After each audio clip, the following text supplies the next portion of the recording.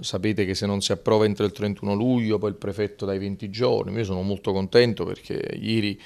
dibattito è stato articolato, complesso, con un confronto dialettico anche vivace, però in 12 ore portare a casa un risultato così strategico per la città è molto importante.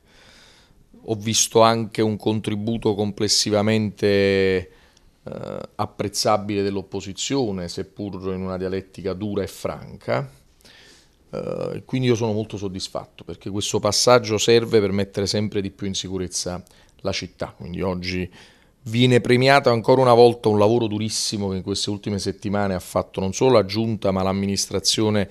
della nostra città, tutti gli uffici che li voglio ringraziare perché hanno fatto un lavoro davvero importante e sottolineo anche, perché qualcuno l'aveva messo in dubbio, una forte coesione della maggioranza, quindi questo è il tema che non c'è nessuna fibrillazione, nella nostra maggioranza c'è dialettica e c'è sempre un confronto per trovare il punto di equilibrio più alto nell'interesse della città.